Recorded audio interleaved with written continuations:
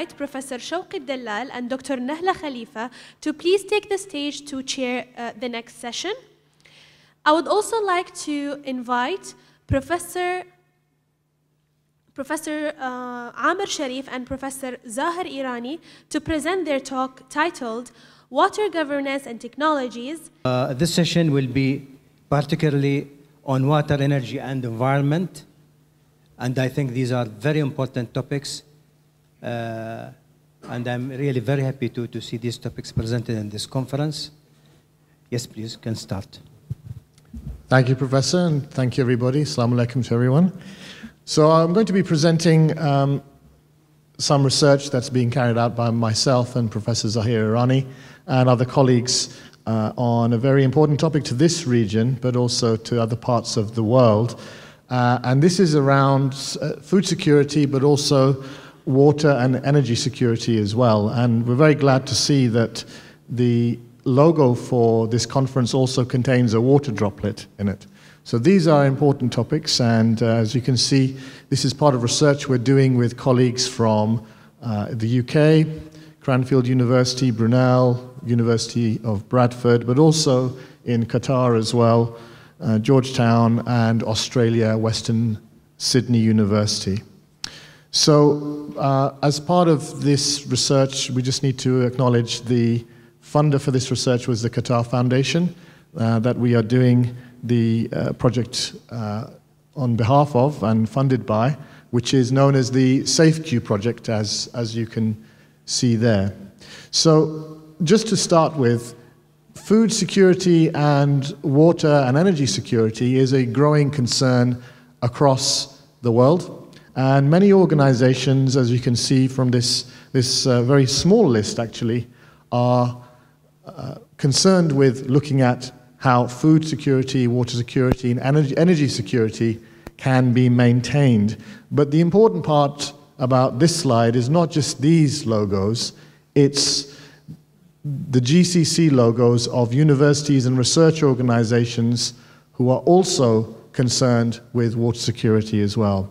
And we can see many of our uh, collaborating universities, friends and colleagues, including uh, Ahlia University as well, that are looking at this in terms of engineering, social, public health, and, and other issues as well.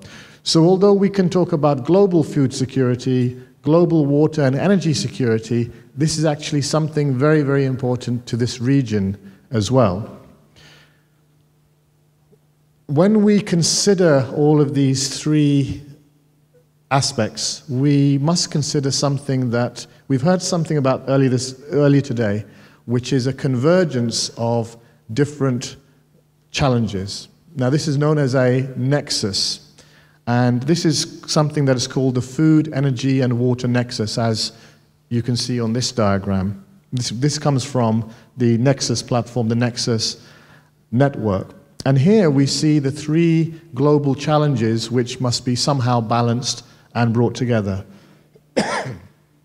this ultimately talks about the interdependence between energy, food, and water security in terms of the resources that are involved, including land, but also the impact it has upon populations, and also in terms of uh, economic growth and consumption patterns, as you can see on the left. So, when we talk about these three aspects, we actually are talking about all of the related impact factors as well. And this is the core aspect of our research, our interest in, in this field. Now, given we are in the Gulf and we're in Bahrain as well, uh, it is uh, sort of hardly surprising to, to note that this is a topic of heated debate and of interest in, in this part of the world. So, over the last few years, if you've seen, you may have seen this talked about in various different, uh, various different uh, forums and in, in, in the media. Food security is something that's constantly within the line of sight of the public. It's in the media.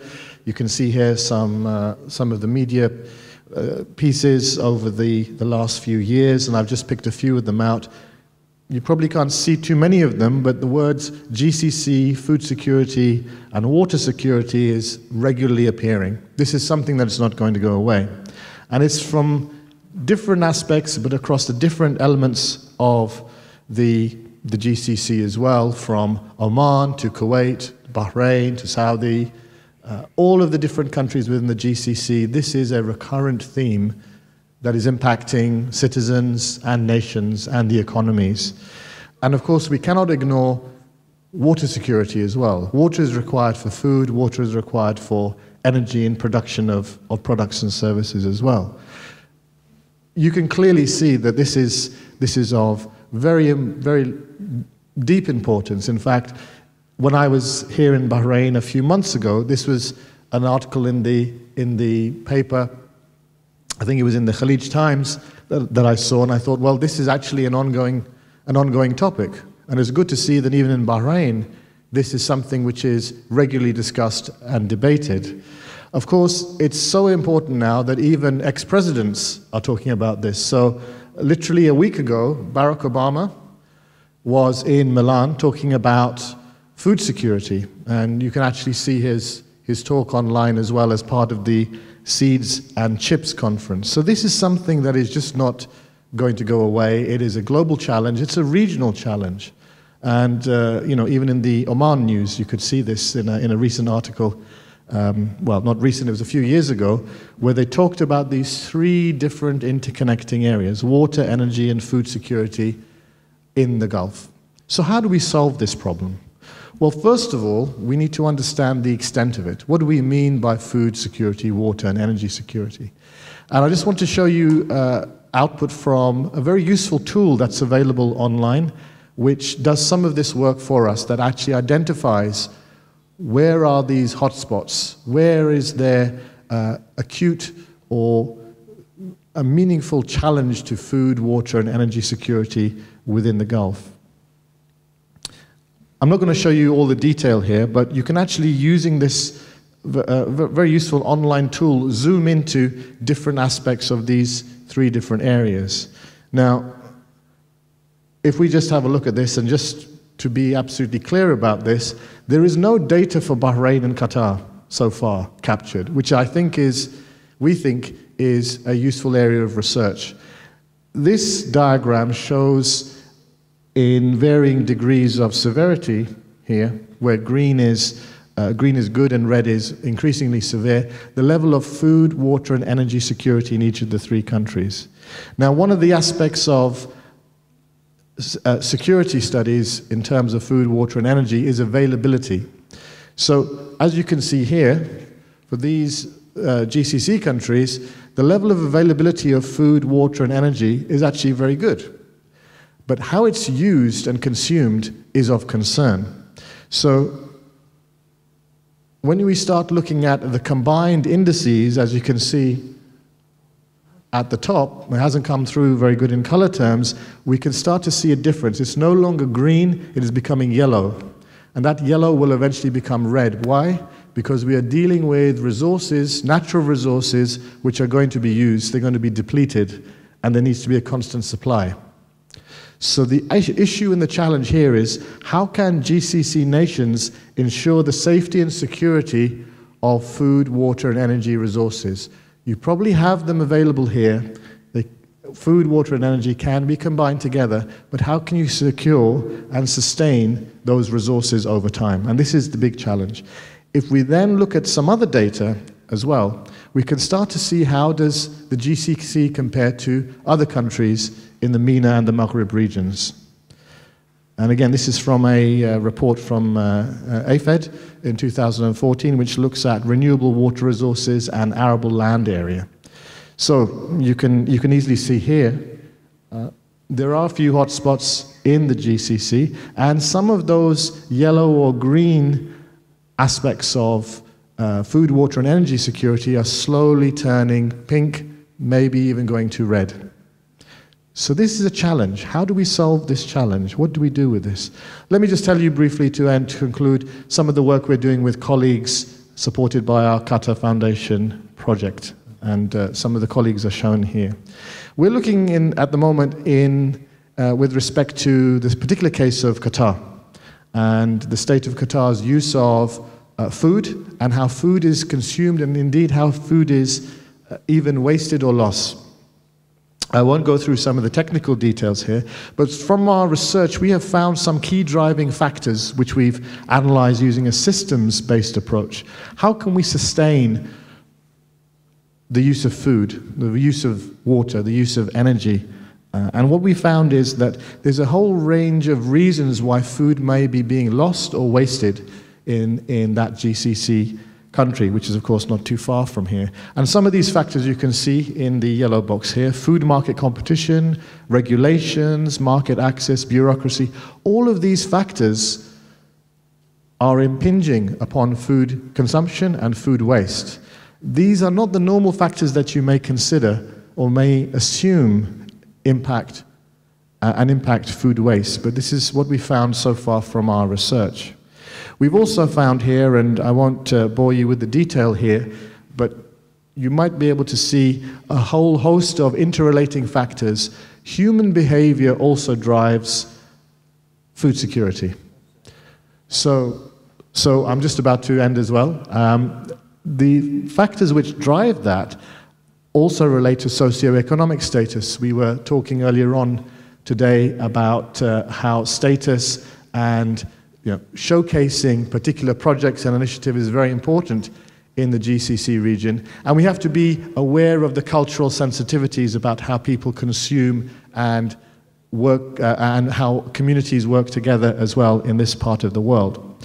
So just to conclude with that, uh, that diagram, this is ongoing research. We don't necessarily have answers. Uh, in fact, we have more questions.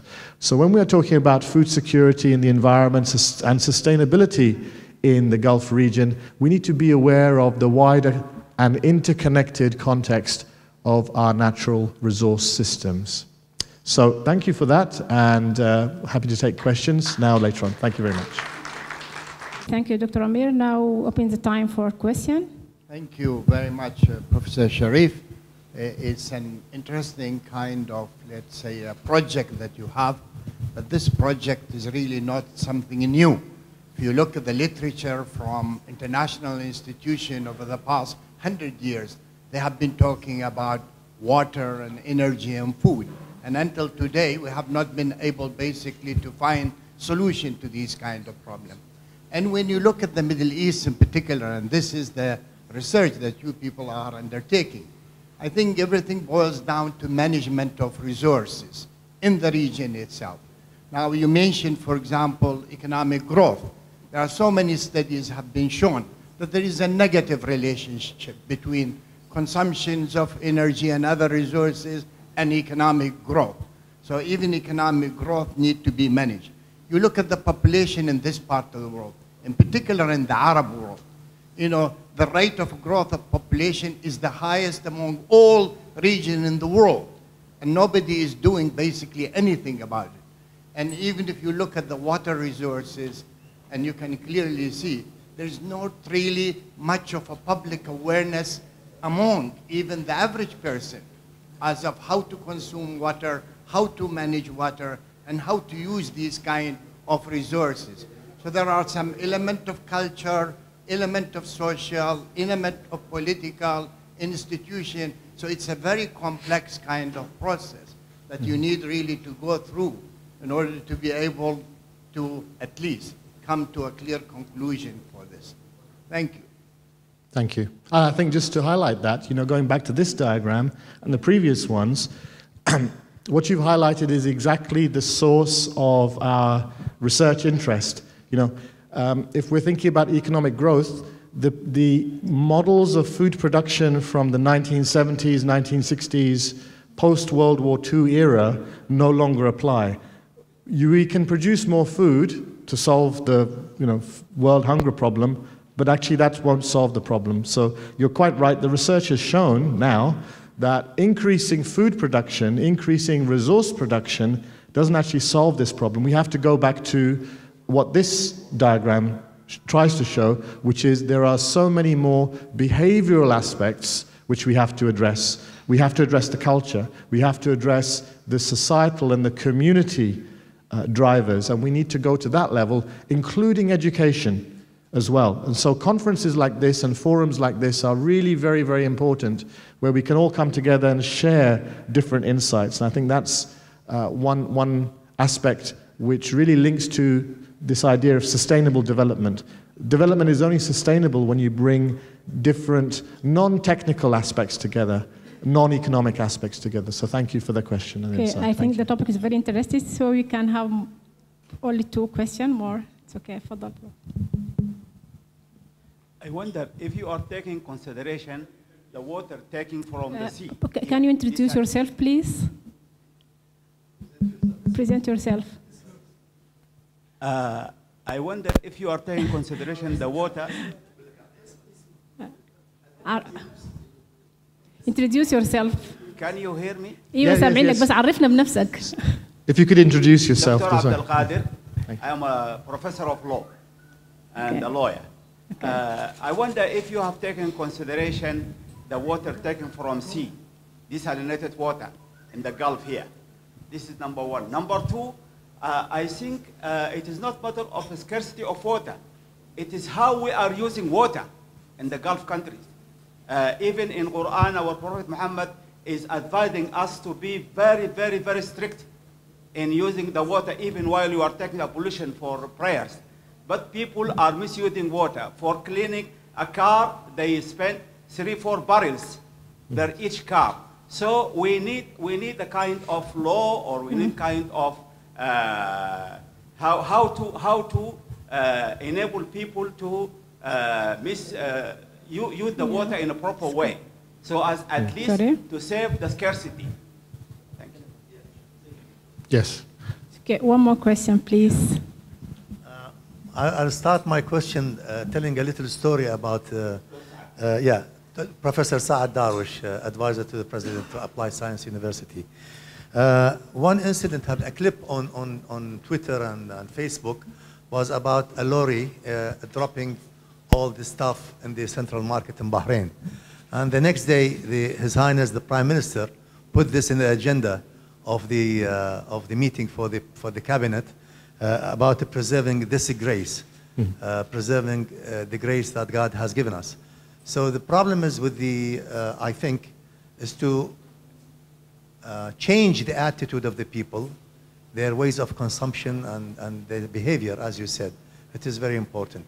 Thank you so much for raising these points. Thank you. Thank you. I think those are two very, very good points. Just to uh, bring both of those points together. Uh, our research is not necessarily looking at the water aspect. It will do, inshallah, in the future, and that's our, our next step is to look at that. Our primary concern is around the food, but you cannot get away from the food and the energy and the, the waste aspects when you look at food security. So, one of the things that we've been discussing with farms in Qatar and other countries, even in, in Saudi, not too far from here as well, is how is food, uh, so how is water used in food production? And water is also wasted, and you also men- mentioned this, this point as well. You know, we, we, uh, we, we tend to use water and energy to create other products, but we don't see how that water and energy is embodied in that product. So, for example, these things right here have all taken energy, have all taken water. We just don't see them. So, our interest is how do we convince people who make products, who use them, who maybe even abuse them, how do we change their mind? And this is part of it. So we're looking at the whole, we're trying to look at the whole system, which may be more complicated, but it helps to increase the debate. And I'm happy to hear you are keen to engage in that debate as well. So thank you for your questions. Thank you, everybody. Thank you, Professor Sharif. Just one last comment, please. Regarding the data about water in Bahrain, there is a very interesting article written by one of our colleagues in AGU. And in this, uh, in this paper, you can find uh, it is a very good source of, of uh, information about water in Bahrain, just between the brackets. Sure. Thank you. you. And um, if anybody has uh, any, any um, ideas of how to collaborate with, with us on research in Bahrain, we'd be very, very happy to hear. So thank you for your time. Thank you very much. Thank you. And now we would like to invite uh, Professor Mansour Al Ali and Professor Alam to give certificates of appreciation to our keynote speaker. Professor uh, Amir.